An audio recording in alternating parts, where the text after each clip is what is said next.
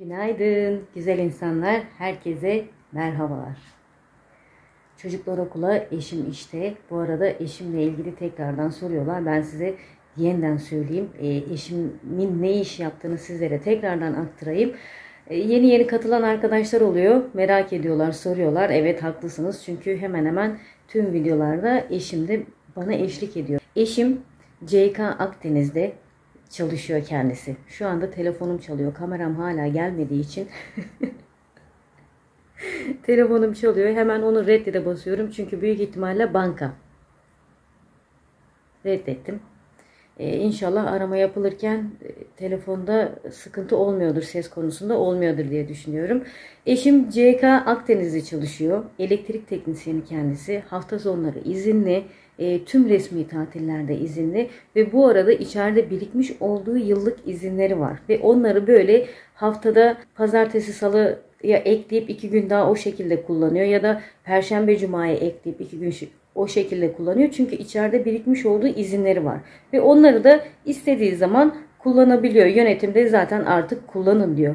Eşimle ilgili yani eşimle değil yönetim artık CK'da çalışan arkadaşların hepsine bir dönem birikmiş olduğu yıllık izinlerini bu şekilde e, istediğiniz zaman alın, kullanın diyorlar. Daha da fazla alabilir ama biz kızların, çocukların yaz tatilinde ya da ara tatillerinde izinleri alıp hep beraber birlikte vakit geçirmek istiyoruz. Merak eden arkadaşlar olmuşlar.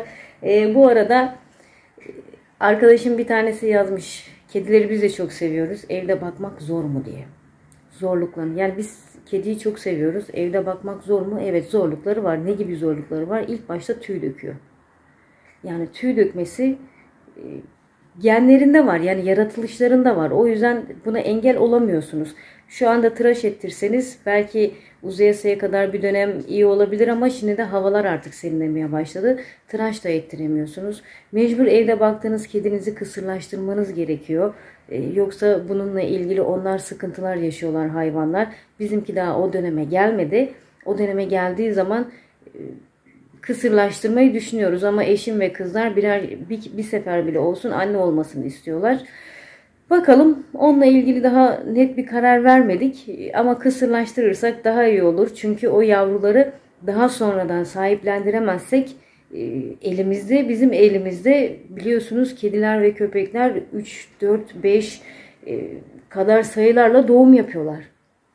Yani evin içinde dışında bir tane biz seviyoruz. Çok severek bakıyoruz. Yavrularına da bakarız ama ister istemez 5-6 tane bir kedi olursa sahiplendiremezsek bunun sıkıntısını bu sefer biz kendimiz daha fazla çekeceğiz.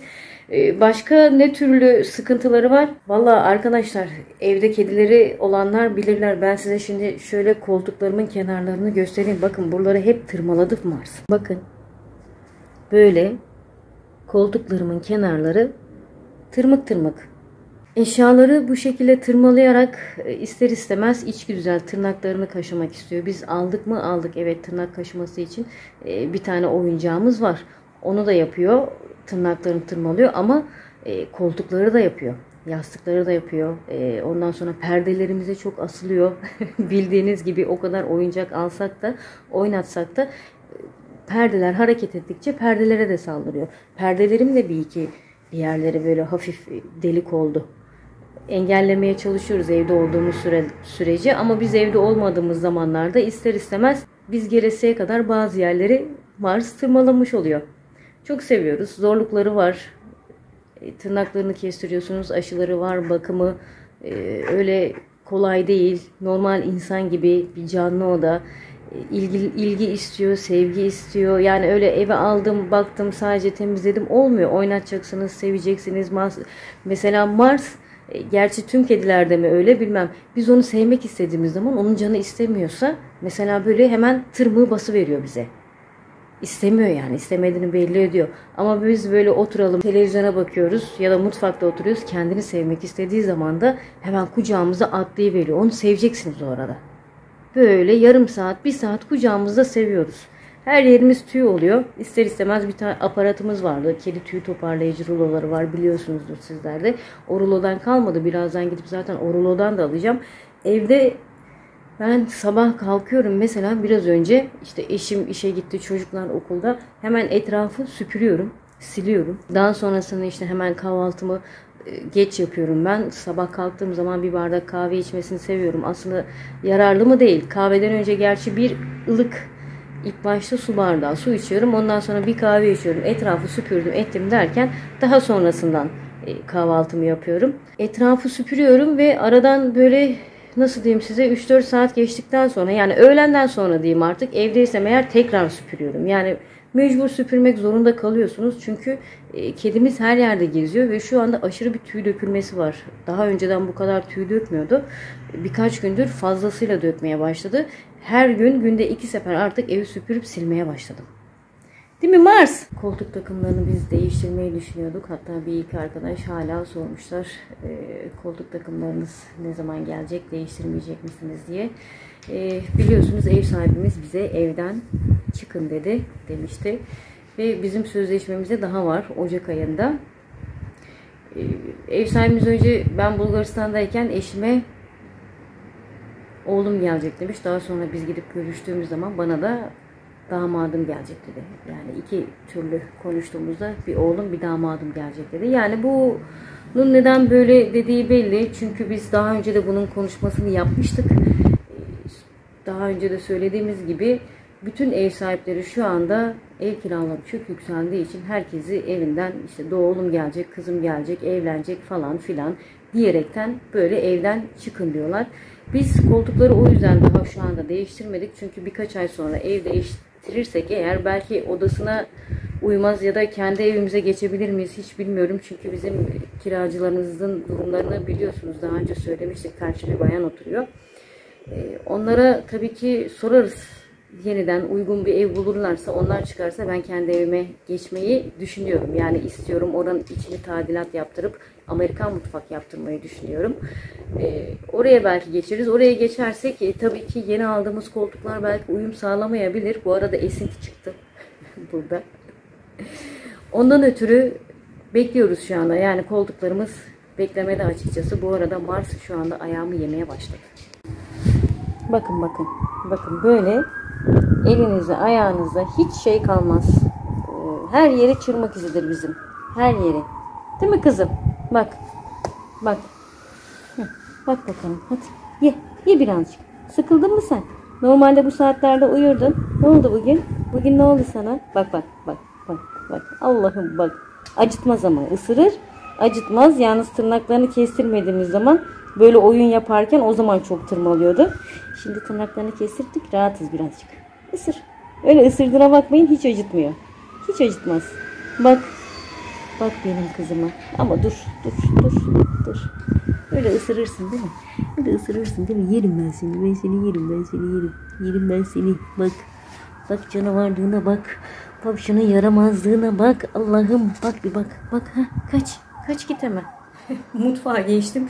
Bu arada tezgahın üstünde de hiçbir şey bırakmamaya çalışıyoruz. Çünkü bir iki sefer burada tezgahlarımızın üstünde e, su bardakları vardı ya da masanın üstünde vardı. Onları patisiyle oynayacağım derken hep e, düşürdü, kırdı. Kırıldığı sıkıntı değil. Allah korusun patisine falan batar, keser. O zaman daha kötü olur.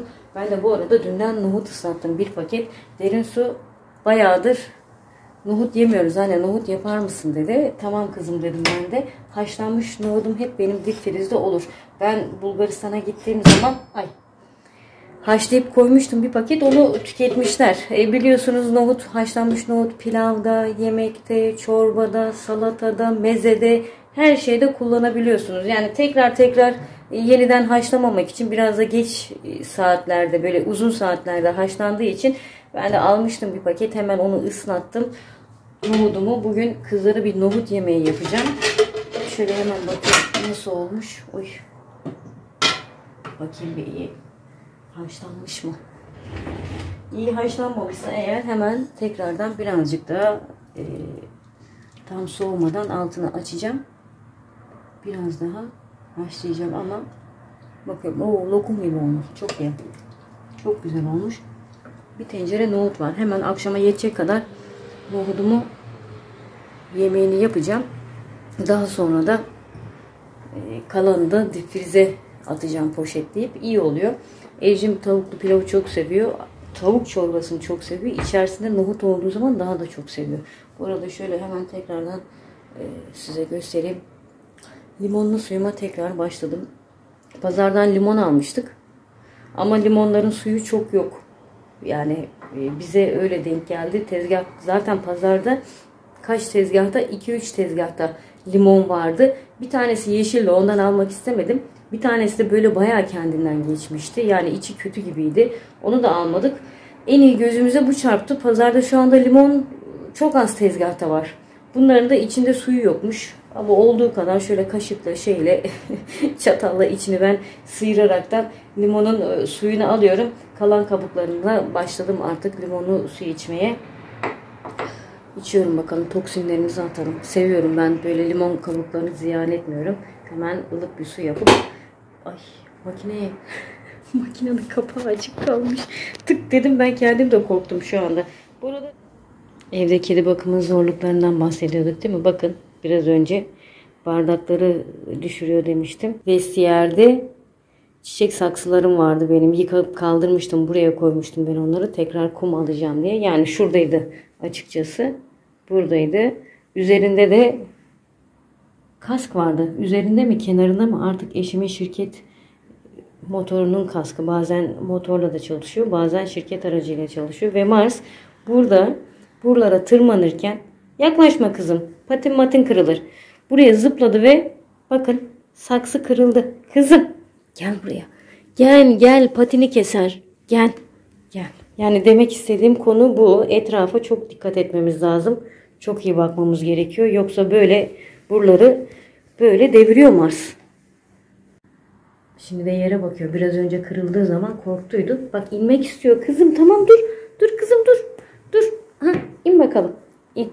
Allah'tan tırnaklarını kestik. Yoksa böyle bir yerden aldığınız zaman sizi onu uzaklaştırdığınız zaman tırmalıyor. Yani tırnakları da fena kesiyor. İyi ki kestirdik şu anda. Bak gene oralarda geziyor. Mars gel kızım buraya. Ama şimdi bakın ben elektrik süpürgesini getireceğim ve Mars'ın tepkisini görün. Eğer burada olursa bir görün. Bak burada. Sen her yeri deviriyorsun. Yaramaz bir çocuk musun sen? Ha? Evin küçük yaramaz kızı.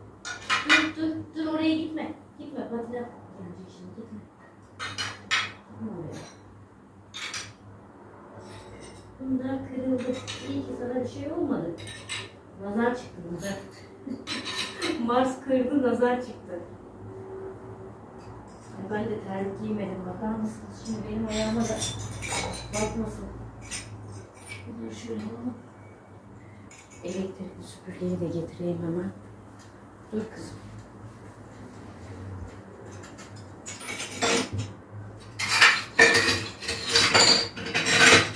Bugünlerde kırılan kırılanı. Değil mi kızım? Değil mi? Dur burada büyük bir parça kalmış. Şuradan.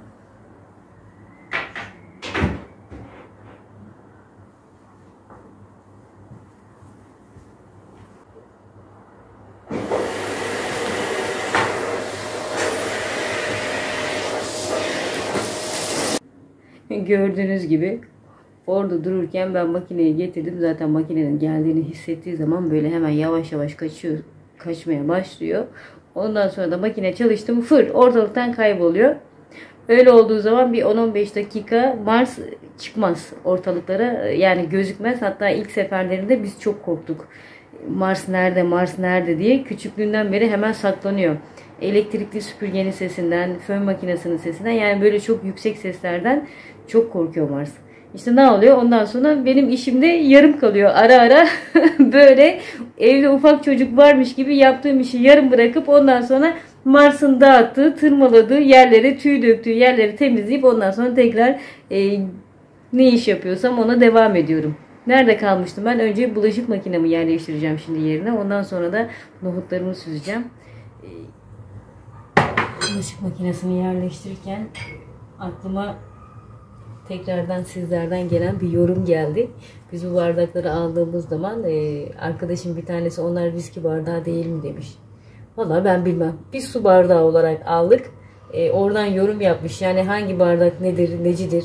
E, aklınızda kalan şeydir böyle. Hani rakı bardağı sabittir. Böyle reklamlarda falan da görürsünüz etrafta. Bir rakı bir bardağını bilirim. Bir de bira bardağını bilirim. Böyle sağda solda üstlerinde markaları yazdığı için. Ben bunun viski bardağı olduğunu bilmiyorum. Yani viski bardağı mı onu da bilmiyorum. Modeli ve şekli bizim çok hoşumuza gitti.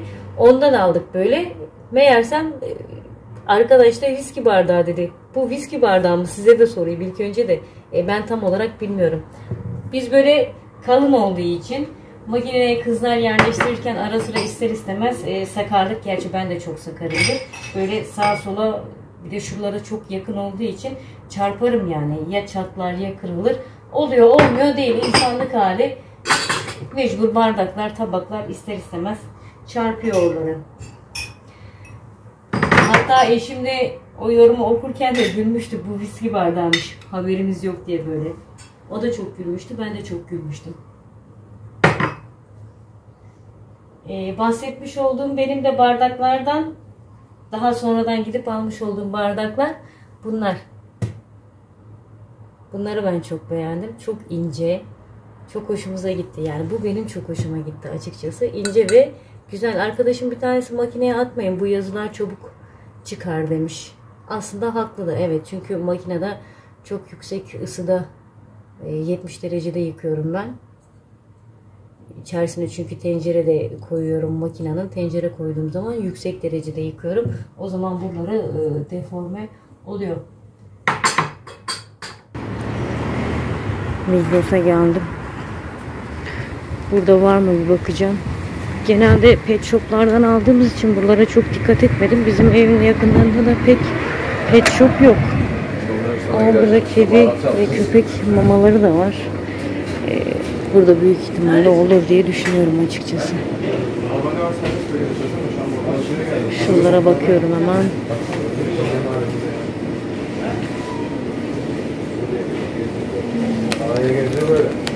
Tavuk eti.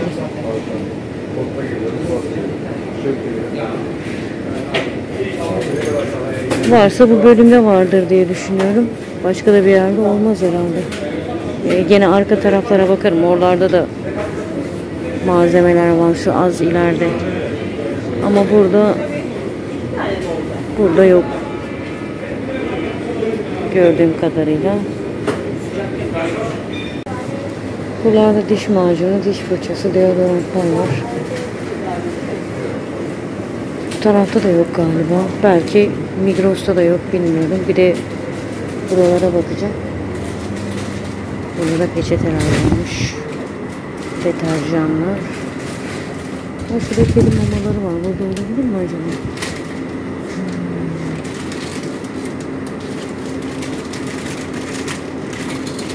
Burada da yok galiba. Şurada şu tarafta ne varmış?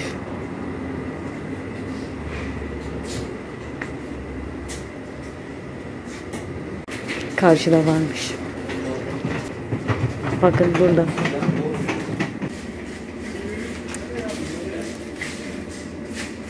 Üç çeşit, üç marka var. Yo, bu aynı Parex, bu da Parex, bu Scotch Brighton. Bu 3 metreymiş herhalde bununki. Kaç metreymiş? Bakayım. 9,5 56'lı diyor. 3 çeşit vardı orada. Bunun biraz genişliği e, küçük. 60 yaprak var bunda. Bu mesela 79 liradan 80'den diyelim indirimli fiyatı yani money kartla 26 liraya düştü. E diğerlerini de geçittirdim ben. Scotch Bright'inki vardı mesela. O 90 liradan 60 liraya düştü. Diğeri aynı böyle Parex'in bir tane daha vardı. Onun genişliği biraz daha büyüktü böyle biraz daha genişti. O 56 yapraktı. Aynı marka. Ama o da bakayım 90 kusur liradan mıydı? yanlış da söylüyor olabilirim. 79 yani 80 ile 90 lira arasından 26 liraya düştü mesela bu. Dedim bu çok uygun geldi. Aynı marka nasıl böyle oluyor? Yani kız da ben tam anlamadım bir mevzu. Hanımefendi bilemeyeceğim dedi. Öyle olunca ben de bunu aldım. Bir de şöyle Porches lavabo açıcı aldım. Ee, şu geldiğimden beri ben yani bir aydır bizim lavabolardan acayip bir koku geliyor. Yani mutfak lavabosundan özellikle bulaşık makinesiyle çamaşır makinesini çalıştırdığımız zaman böyle çok kötü koku geliyor. Ben genelde boruları çıkartır temizlerim ama bir de lavabo açıcı aldım. Bu da 25 lira ve üzerine indirimliymiş. 10 liraya aldım bunu da. Bayağıdır düşünüyordum. Her markete gittiğim zaman unutuyordum. En sonunda gözüme çarptı orada. Bir tane de bundan aldım. Biraz Bakalım. Önce Ejder'in sınıf arkadaşı Sude'nin annesi aradı beni. Müsait sen gelmek istiyorum dedi. Kızlar okul çıkışında beraber bize geleceklerdi. Annesi de bir çay ve kahve içmeye gelecek. Ben de hemen ne yapayım dedim. Valla nohutu ocağa koyamadım. Nohut zaten pişmiş. Allah'tan hemen pişer. Onu şöyle bir kenarıya aldım. Elmalı, cevizli, tarçınlı kek yapacağım ben de. Elimde de bu Ay şöyle tutayım dedim sarpı. Şöyle kenarıya koyayım. Ee, bu kekin içerisine ne koyacağım? 3 adet yumurta, bir adet büyük elma rendeledim ve elmaları en son ilave ederken sıkarak içerisine ilave edeceğim. Koyacağım yani suyunu sıkacağım. 3 yumurta, e, bir buçuk su bardağı şeker, bir su bardağı sıvı yağ, bir su bardağı süt, bir paket kabartma tozu, bir paket vanilya, bir tatlı kaşığı tarçın ve e, nasıl diyeyim burada da hemen hemen bir çay bardağı kadar da dövülmüş cevizim var. Yani küçük küçük parçalara ayrılmış. 2,5 e, su bardağı da un ilave edeceğim. İlk önce ne yapacağım? Yumurtalarımı güzelce iyice bir böyle çırpacağım yani bayağı bir köpürecek böyle. Daha sonra şekerini ilave edeceğim.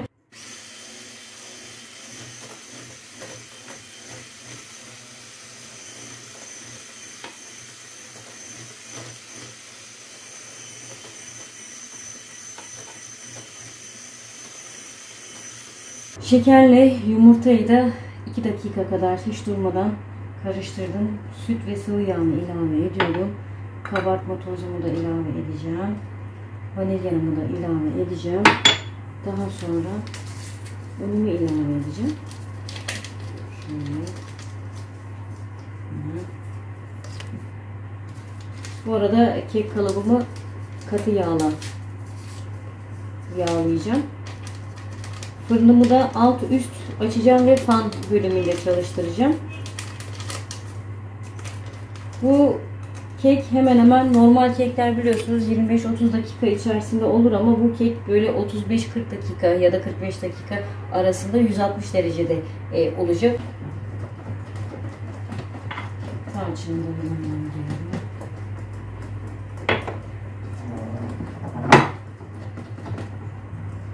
Havuçlu keke de ben tarçını çok yakıştırırım. Havuçlu cevizli keke. Elmalıya da çok yakışıyor. Zaten elma ve tarçın çok uyumlu. Hemen şuradan şöyle iki buçuk e, su bardağı unumu da ilave ediyorum. Ve tekrardan unun markasına göre bir bakacağız biliyorsunuz unun markasına göre un miktarı değişebiliyor. Bir de benim unum kepekli un. Daha bitiremedim. Ben bundan ekmek yapacaktım. Yapmadım daha. Gerçi ne kaldı ki kullanıp duruyorum. Sadece çorbalarda güzel olmuyor. Ama geçenlerde yapmış olduğum perde pilavında çok güzel oldu. Ben beğendim yani. Benim çok hoşuma gitti. Kekte de güzel olacağını düşünüyorum.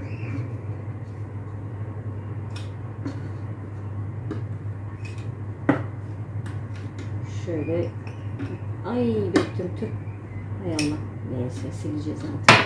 Acele ettim çünkü e, kek uzun sürede pişeceği için acele etmem gerekiyor. Onlar geldiğinde hazır olsun istiyorum ama e, sanki onlar geldiğinde birazcık keki bekleyecekler gibi geliyor bana. İki buçuk su bardağı unumu da ilave ettim. İyice karıştırıyorum ve şimdi elmalarımı sıkıp içerisine ilave edeceğim. Cevizlerimi de ilave edeceğim. Şimdi şunu şöyle yoğurdun içine alalım. Şöyle. Çok su çıkıyor bakın. Yani bu elmanın suyuyla beraber kekin içerisine atarsak elmalarımızı sıkmadan tekrardan un ilave etmemiz gerekebilir. Yoksa güzel olmaz. Yani kıvamını tutturamayız. Karıştırıyorum.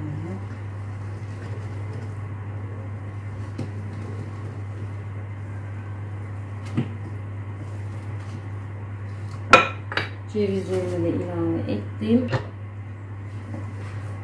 Bizim Ejin çok sevmez e, cevizi. Çok sevmiyor. Böyle keklerin içerisine koyduğum zaman bazen yememezlik bile yapıyor. Ama şimdi arkadaşı gelecek diye yer inşallah. Kek kalıbımı katı yağla yağladım.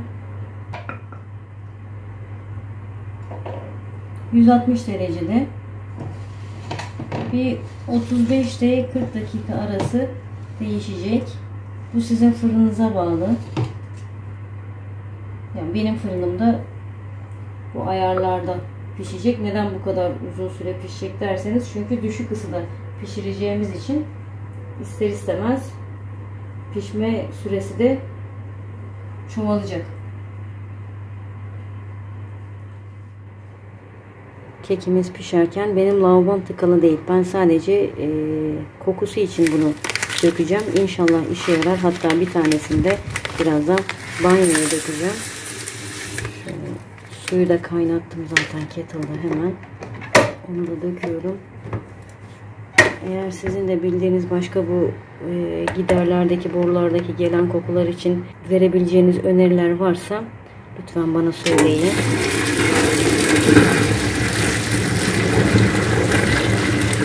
Hadi bakalım. İnşallah işe yarar.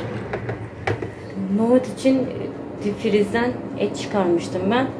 Onu normal et zannediyordum. Gazipaşa'dan geldi bu etler. Poşetlenip koymuşlar. Bir tanesini aldım çıkardım ama bu kemikliymiş. Aslında kemikli olduğunu tahmin etseydim çıkartırken nohudun bir kısmını haşlamazdım. Et de geç pişiyor. Nohut da geç pişiyor. İkisini aynı anda pişirirdim ama meğersem bunlar kemikliymiş. Benim amacım küçük küçük böyle nohut büyüklüğünde doğramaktı etleri. Ee, kemikli olsun. Kemikli nohut da çok güzel olur etli. Şöyle hemen etlerimi önceden ısıtmış olduğum yağın içerisine koyuyorum. Ve bunları çektireceğim. Yağ ister istemez biraz fazla ısınmış. Şöyle azıcık uzakta durayım da yakmayayım kendimi. Evet. E, etlerimi şimdi ilk başta birazcık kavuracağım. Daha sonra soğan ve yok soğan ilave edeceğim. Sarımsak koymayacağım. Kuru fasulye nohutta ben sarımsak sevmiyorum. Benim hoşuma gitmiyor. Soğanla kavuracağım. E, biraz da salçasını kavuracağım. Domates biber ilave edeceğim. Sıcak su koymayacağım. Sadece soğuk su ilave edeceğim.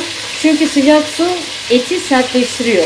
Soğuk su ilave ettiğiniz zaman et daha yumuşak oluyor ve daha çabuk pişiyor. Bunların yapım aşamasını şu anda gösteremeyeceğim çünkü vaktim daraldı. Ee, kızlar okuldan çıkma vakti geldi ve Sude'nin annesi de gelecek bize. O yüzden e, alelece, alelacele yapacağım. Kim tam 45 dakika sonra fırından çıkardım. Böyle elliyorum. Çok iyi. Birazdan da hafif soğuduktan sonra bir kabın içerisine ters çıkartacağım. Elimde pudra şekerim var mı? Tam dikkatli bakmadım. Bir ona bakacağım. Pudra şekerim varsa üstüne bir de pudra şekeri gezdireceğim. Etlerimin suyunu ben böyle çektirdim. Salçasını verdim. Salçası hatta kavruldu. Hemen şurada doğramış olduğum küçük küçük domatesleri ve biberleri ilave edeceğim. Kırmızı toz biber ilave edeceğim. Kırmızı toz biberi kayınvalidem yapmıştı. Her sene yapar sağ olsun bize de gönderir bir tatlısından bir de acısından. O kırmızı pul biberi kullanacağım zaman yemeklerde ben çok az salça kullanıyorum. Çünkü o çok güzel lezzet veriyor. Domatesle birlikte birleştiği zaman rengi de çok güzel oluyor böyle. O yüzden az salça kullanıyorum elimde kırmızı pul biber olduğu zaman ama orijinal hani hakiki böyle kayınvalidemin yapmış olduğu ya da yapan kendileri yapan arkadaşlar olduğu zaman onlardan satın aldığım zaman genelde kullanıyorum. Marketlerdekini e, kullanmıyorum, tercih etmiyorum. Yani elimde hiç kalmazsa böyle yemekleri belki renklendirmek için kırmızı toz biberi marketlerden alırsam o zaman az kullanıyorum. Kekim pişti. Elimde de pudra şekeri varmış. az bir şey kalmış. Hemen şöyle birazcık pudra şekeri de gezdiriyorum. Misafirlerimiz gelmeden kekimiz hazır oldu. Çok iyi oldu. Ben tedirgin olmuştum çünkü yetişmeyebilir diye saate baktıydım ama yetişti. Zaten misafirlerim de gelmek üzere. Ay çok oldu pudra şekeri. Yeter mi kadar? Evet. Hemen sizler için daha sıcak ama bir dilim şöyle kesmek istiyorum. Ocağımın da altını kısayım. Etler kaynamaya başladı çünkü.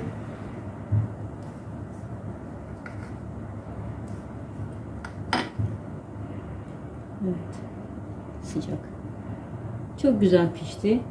160 derecede 45 dakika. Alt üst fan. Ee, evet arkadaşım geldi. Sude. Ee, annemler içeride çay kahve içiyor. Daha önce okuldan gelirken görmüştünüz. Birkaç kez geldi Sude buraya. Birazdan parka ineceğiz. Ee, paten falan süreceğiz. O da patenini getirdi. Ee, havuz olsaydı aslında havuza girerdik değil mi? Bu soğukta. Ha çok da soğuk değil. Evet şu an iyi hava terledim ben. Görüşürüz. Sude'nin annesi Nursen Hanım. Ee, oturduk konuştuk. O arada da Ejim böyle içeride otururken biz bayanla burada muhabbet ediyorduk. Bir iki saniye bir şeyler çekmiş herhalde. Ee, Sude ile konuşmuş. Tam dikkat etmedim bakamadım da şu anda. Neler konuştuğunu da bilmiyorum. Sude'yi çok seviyor. Ejim yani en iyi arkadaşlarından bir tanesi okulda. Bayanla da biz daha önce işte okula giderken gelirken hep konuşurduk, hep muhabbet ederdik ama bir türlü böyle birbirimizin e, yanına gidip evde buluşma imkanımız olmadı. Bu zamana nasipmiş o da. Çok şeyler, iyiler. Yazın Semokel birkaç kere geldiler. Yani, yani davranışları, hareketleri, çocuklar oynayışı, hani 40 yıllık şey gibi, yani doğduğundan beri de beraberler gibi. Evet. Bir de onun sonunda bana ye- yetiştirdi. Yetiştirdim. Ee, yani bugün böyle elimden geldiği kadar arkadaşlarla böyle muhabbet ettim. Güzel. Ee, merak konuştum. Merak ediyor musun? Evet. Vallahi birazcık ev sahibimizi e, çekiştirdim. Çok değil ama Kek güzel olmuş bu arada. Afiyet Bak, olsun. Biliyorsun. ay kekimiz çok güzel oldu. Taze cevizden bence kaynaklanmış. Şiddetle tavsiye ediyorum. Yayla elması ve ceviz. Tek püf noktası bu diye düşünüyorum ben. Ev lezzetinde. El lezzeti. Bugünüm böyle sizlerle beraber geçti. Artık ne yapalım? Allah'ın izniyle biz müsaadenizi isteyelim.